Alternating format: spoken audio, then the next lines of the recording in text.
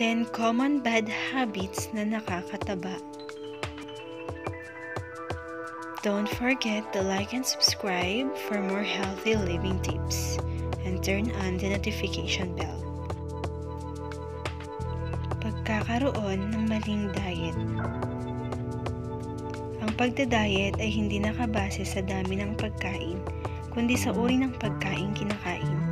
Masasabi lamang na tamang pagda-diet kung ang pinipiling kainin ay nasustansya dahil nakabase sa healthy food choices ang tamang diet.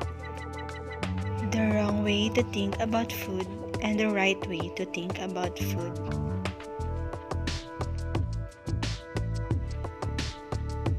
Pwersadong pagbabawas ng timbang. Ang pagpapayat o pagpapataba ay hindi magiging matagumpay kung ang pagsasagawa nito ay pwersahan at paspasan.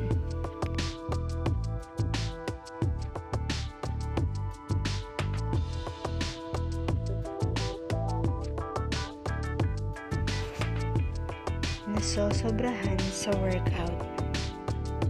Tumataas ang appetite kapag sobrang napapagod, kaya mas ganado sa pagkain at mas malapit sa pagmimerienda at overeating na kailangan ng mga nagpapataba.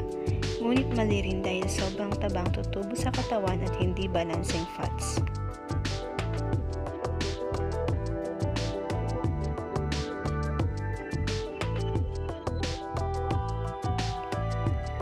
Sobrang pagkain.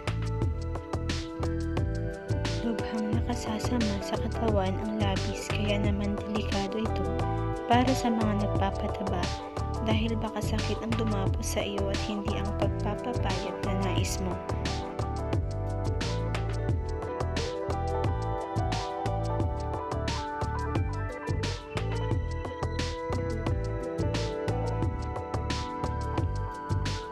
Masyadong stress.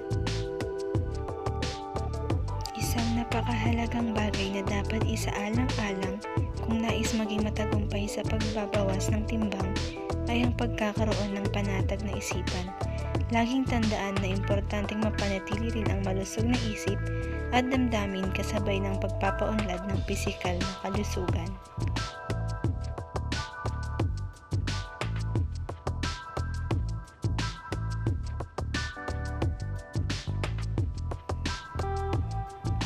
Sobrang pag-inom ng alak.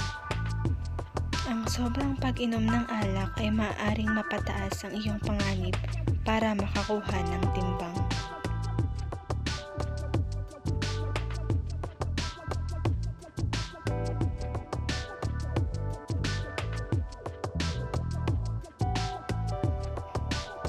Pagtulog pagkatapos kumain. Ang resulta ng pagtulog kaagad matapos kumain ay nagre-resulta ng sobrang pagtaba.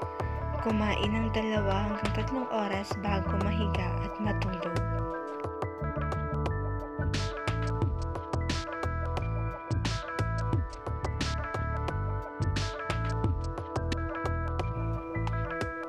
Pag-inom ng soft drinks o pagkain ng mga matatamis.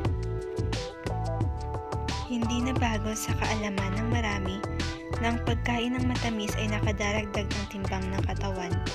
Ang sobrang asukal kasi ay nagiging taba at naiimbak hindi lamang sa atay kundi sa iba't ibang bahagi rin ng katawan.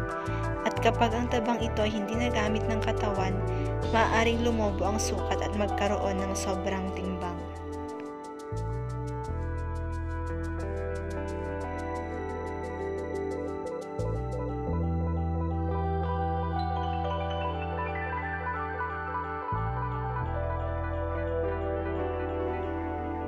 Pagkain sa mga pagkaing maraming carbohydrates at fats.